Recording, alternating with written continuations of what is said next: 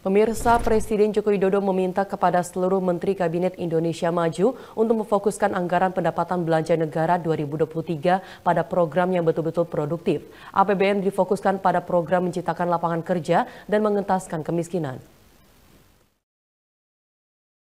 Presiden Jokowi membuka sidang Kabinet Paripurna terkait anggaran pendapatan belanja negara APBN di Istana Kepresidenan Jakarta Senin kemarin.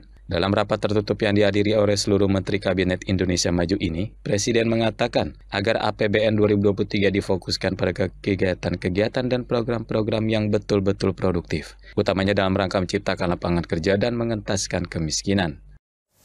Dan APBN 2023 harus fokus menyelesaikan prioritas nasional, baik yang berkaitan dengan penurunan stunting, penurunan kemiskinan ekstrim, dan juga ketahanan eh, pangan serta agenda menjelang pemilu.